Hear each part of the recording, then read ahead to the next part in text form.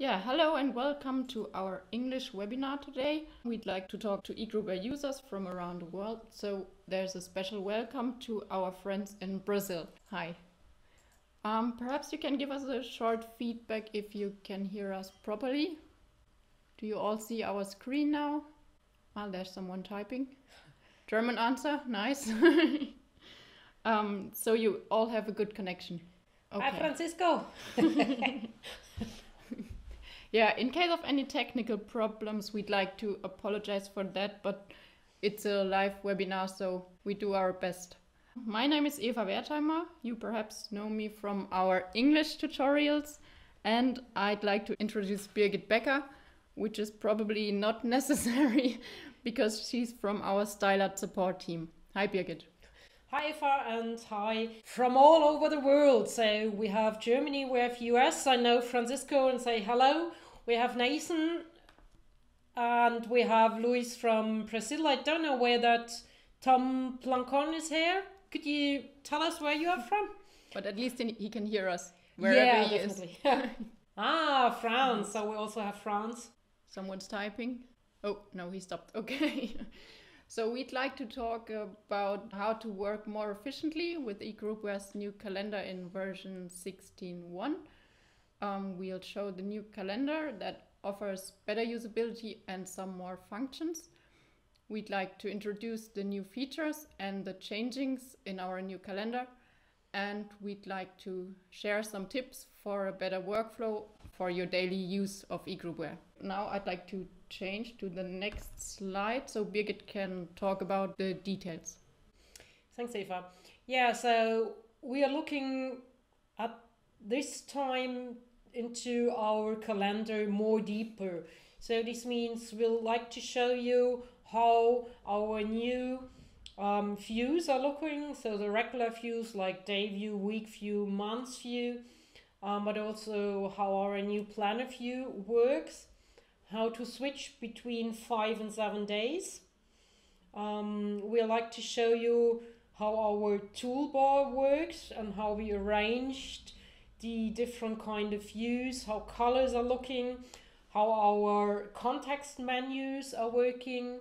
Um, for sure, in general, favorites are still there, how to work with favorites, how to work with drag and drop, um, showing info entries, uh, using InfoLog entries, all these things um, will come then more in detail when we share our view to you.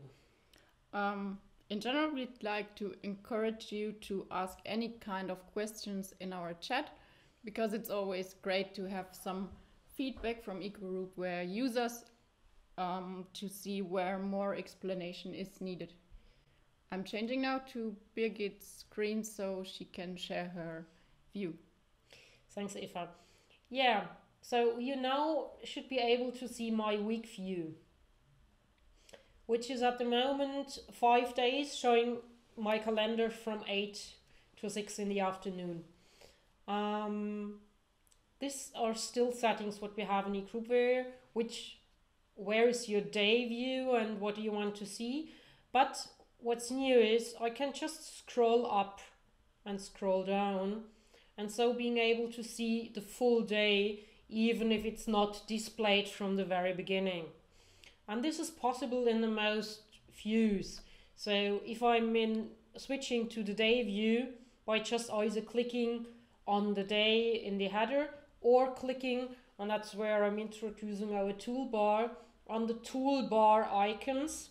So that's the one day, the day view, clicking on it will switch to the day view of today and here I also can scroll inside my day and so getting to appointments which are maybe out of the day range I've been setting in my preferences. And you still can see your InfoLog entries on the right hand side in a list. There are more views I like to introduce to you. That's our multi-week view. And the multi-week view you can also um, have a preference how many weeks you want to see. So now directly visible for me are, let's say, one and a half weeks. But I set my calendar to be able to see three weeks. So if I'm now having three weeks, I can just scroll within my calendar and all three weeks are visible and scrolling into some. Um, so what has changed in general is we are now able to use better the whole calendar, the whole space. Like before, um, it was a certain amount of space which was available, but you haven't been able to scroll or you may see just half of the place was used. So that has changed. And pretty new is our new months view, which no longer shows the events in uh, with time ranges. It just shows a list of events. Um, you also see the new look and feel of our category colors. So that's one of the main changes I think we did to eGroupware, having there a lighter design, having it more clear and structured look and feel. And if you like that view very much, you can set in your preferences um, to not have it only on the months view, which is a default. You can also choose it for the um, multi-week view, for example, also for your week view. I think that makes it much more easy if you have a bigger group of users and want to see how they are working, what they are doing over the day. Um, so the list view gives you a good kind of overview in that monthly view. I just saw that someone's writing he's sorry for being late, so no worries because we are as usual recording this webinar and you can watch it afterwards. It's on our website or you will be informed via email. Yeah. So additionally to what I now showed on the left hand side in our toolbar, we have that more option on the right hand side. You'll know that already from the email module, that toolbar working. So if I like to have a different view, I can just drag and drop it into more or out of more into my view. So, um, or I can click it if I'm saying I want to see the planner by user. I'm just clicking on the more planner by user and it shows me my user because that's what I have selected here. But if I select let's say group product development, for example, I will see the other users which are in the same group. Or switching to group Santiers calendar, which goes up with my months view. So you're seeing now I'm using favorites. Just clicking on a favorite makes me showing a different kind of view. So in the favorites you can store all kind of things like which view, um, maybe what category, like that holiday planner here. So it shows our whole team, but just the group, uh, the category holidays, um, which is one of the planner views what we now have. And within a planner view, you can zoom in or zoom out. So if I like to see what happens on Tuesday, I'm just clicking on Tuesday and get, get a better detailed plan of the Tuesday, clicking back on week. I got the week view and also the option to go back to the month view. So in general, the planner view is is um, a good tool to get a overview of your of your appointments, but not too detailed. Yeah, I think that's a good explanation. Um, also showing here another one, which is a group management planner, which goes for all kind of categories. So I can see here who of our management team has at what days appointments or nothing uh, or is available, something like that. Mm-hmm. But for sure, the details, it's maybe easier looking into a month's view. So it's up to you you can select whatever you like and just put in your favorites or into your toolbar what you like to use more often. There's a, one new button that shows a 5 and a 7, so I guess that's for the 5 and 7 days view. Now we also see Saturday and Sunday, but perhaps you can show us how to turn them off so you have more space for the rest. Yeah, it's pretty simple to use. You just click on the 5 or on the 7 and the view will change. You already see now it has changed. While we've been talking, I clicked on the 5 and Sunday, Sunday are gone. Similar for sure also on the week. So if I'm clicking now on the week, you see it just shows my calendar from Monday to Friday. So I can pretty simple switch between a view where weekend is displayed or weekend is not displayed. So if you have a smaller screen, for example, it would make sense to just show Monday to Friday. Yeah, if my weekdays goes from Monday to Friday, it makes sense to show only them. And if I have something which are business which goes on the weekend, then I can just switch them on. And I also can store them in the favorites. Similar is also valid for our planner. So switching on the planner, also I can switch by 5 7 between showing the Sundays and Saturdays or hide them.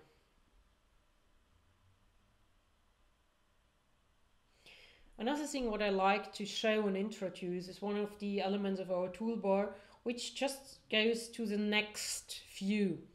So being in a week view, it will show my next week.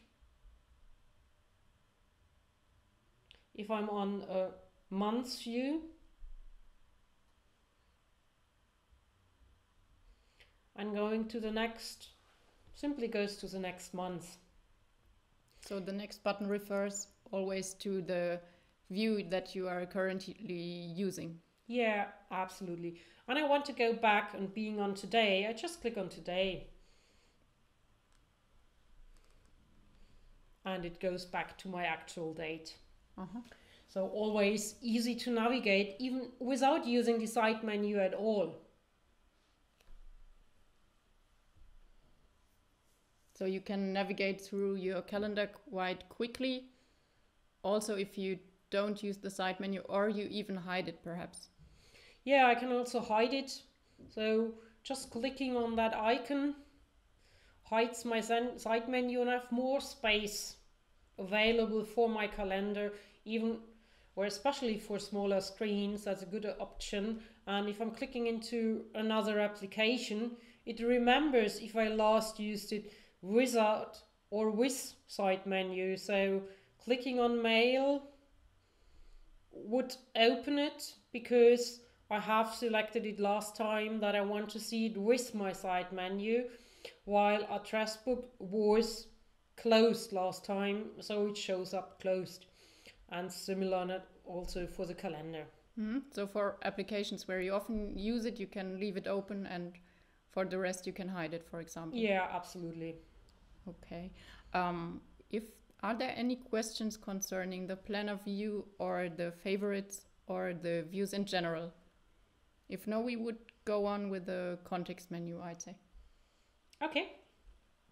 Yeah, so the new context menu or the context menu, what you already know from the other applications or from a list view in calendar, is now also available on our regular views, which means if I'm clicking here with the right side of my mouse, it shows me my context menu and I can easily have different kind of actions happening.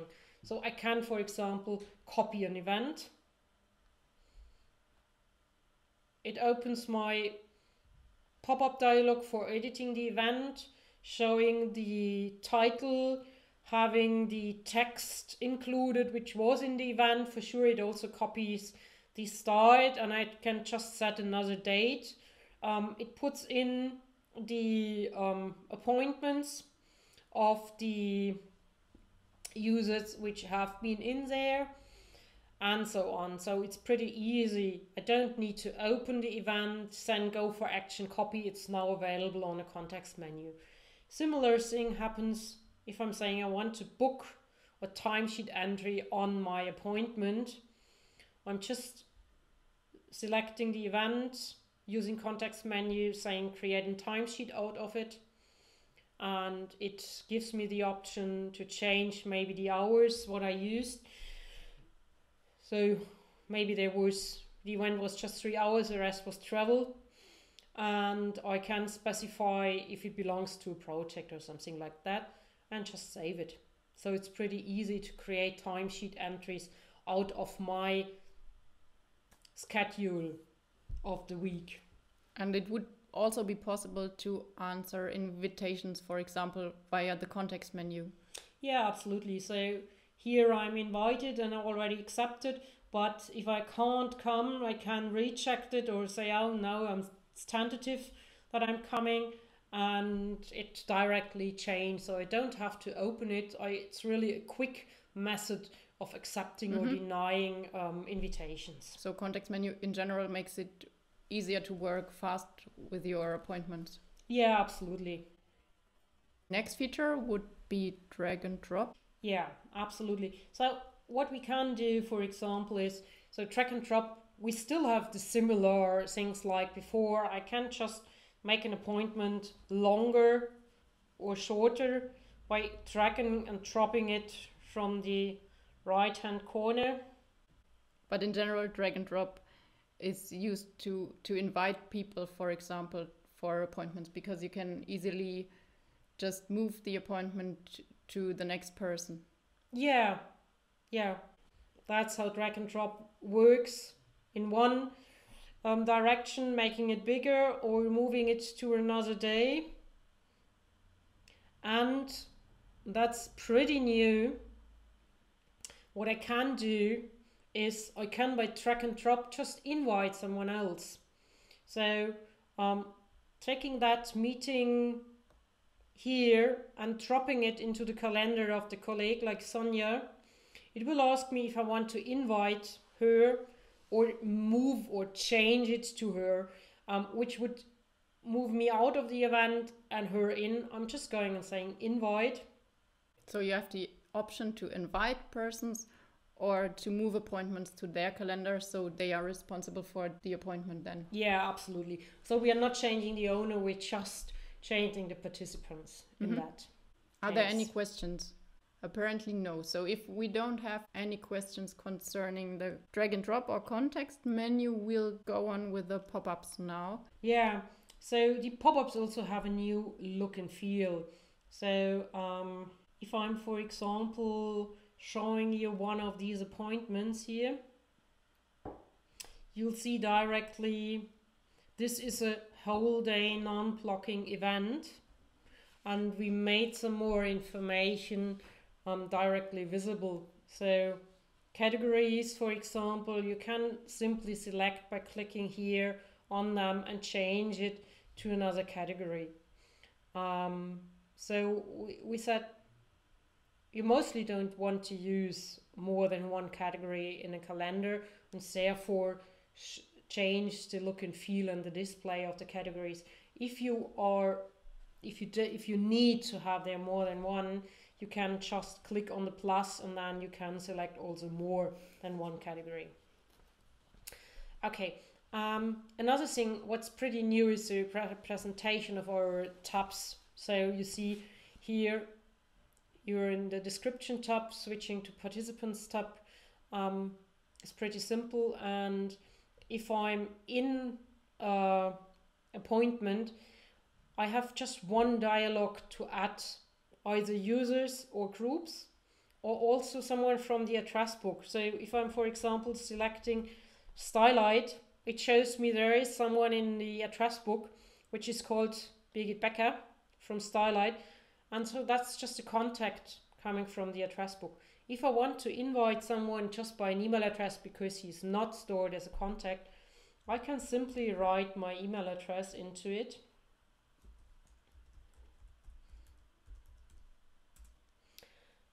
And it gets invited by the email address similar for meeting rooms for example. If i'm searching for meeting it shows me the meeting rooms which are available. I select it and i can just add it so if you have an appointment and you want to book the meeting room for that time it's easy to find out if it's occupied or if you can just use it yeah absolutely so then it shows up in my list here and you see there are some group invitations, there are some users, there are some address book contacts, there are email addresses or resources. So it's just one place where you can do everything. That's kind of the way we want to go for the future. Similar is on if you look on the right hand side here where you select your users in the side menu. Here you also could select your meeting room or a addressable contact if you want to display the calendar of the meeting room or of that addressable contact.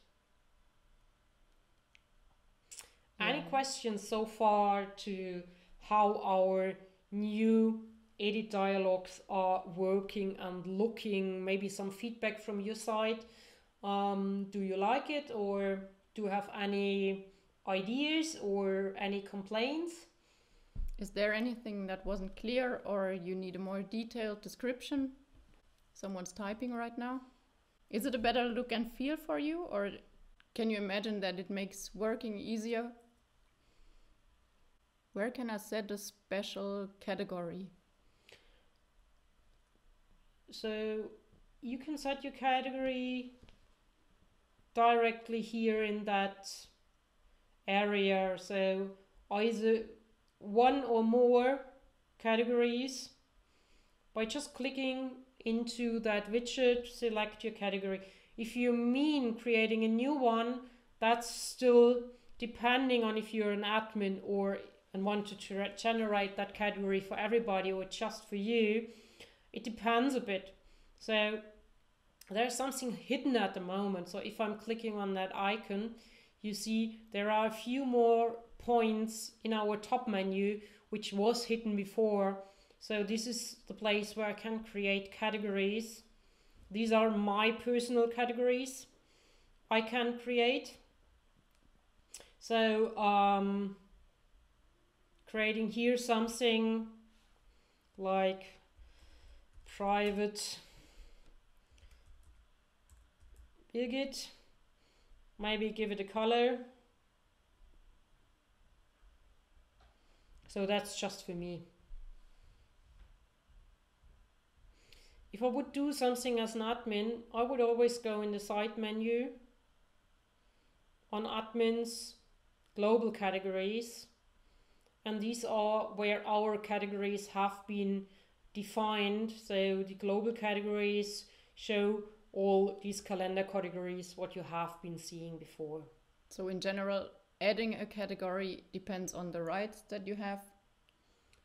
Yeah, for sure. So regular users are still only um, possible to create regular categories or private categories, while um, if you are in an admin, you can create categories which are valid for more than one.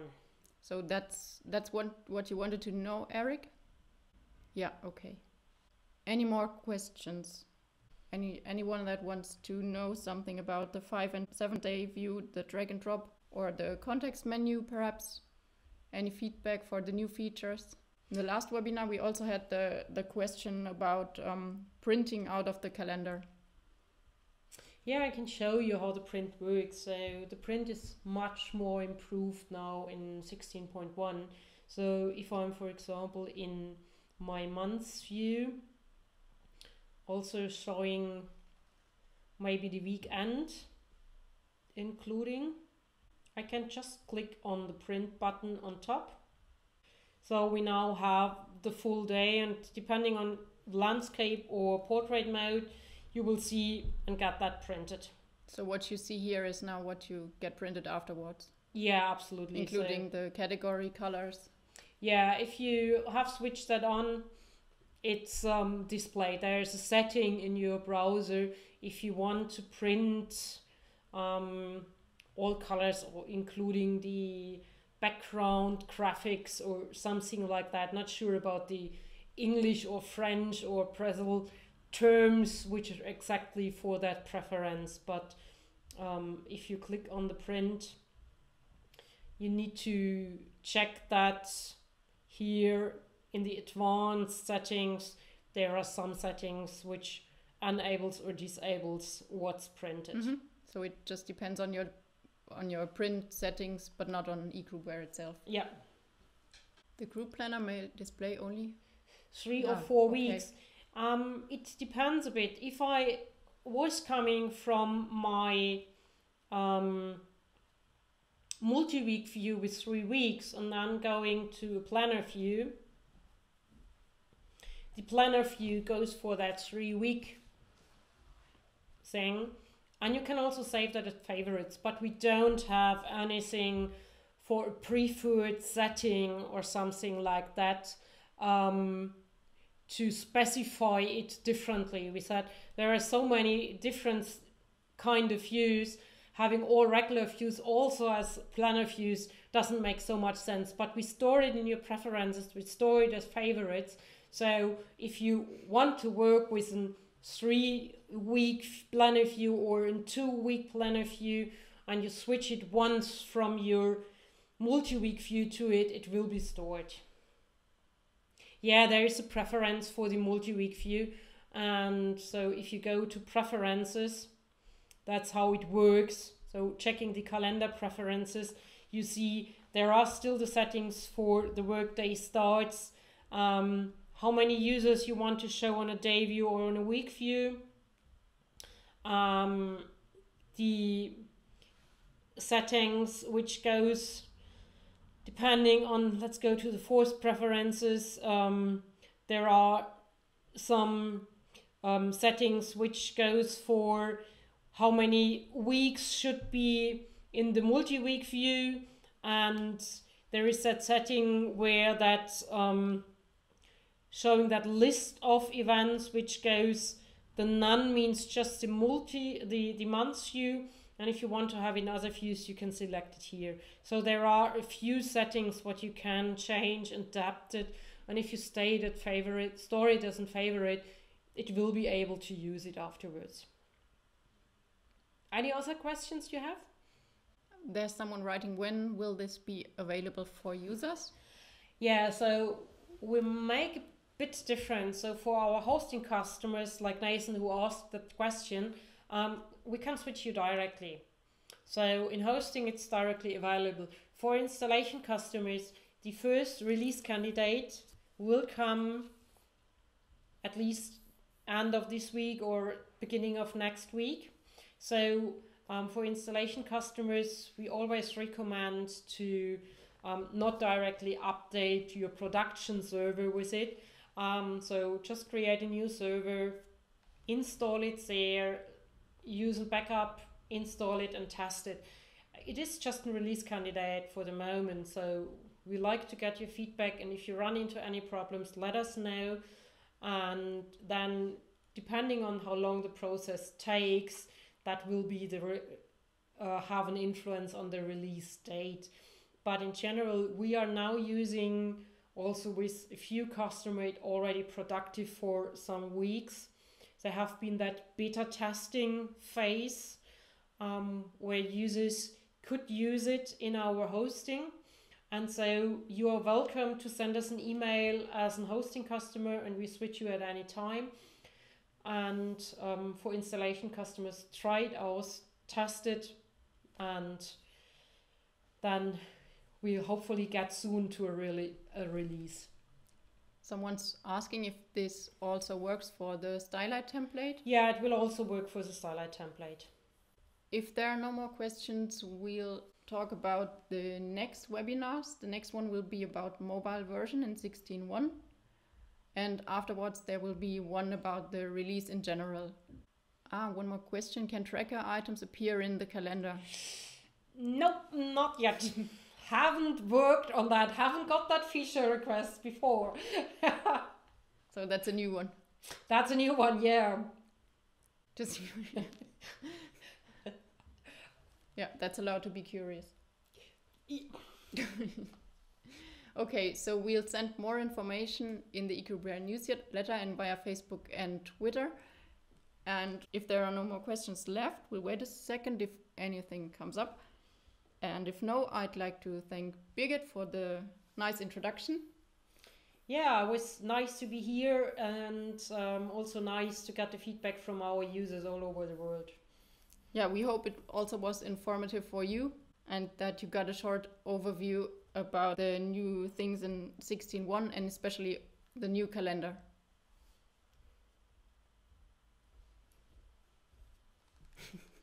yeah. Um, for more information, just write us at info at stylite.de. Thank you very much, and we hope to see you in our next webinar. Bye bye.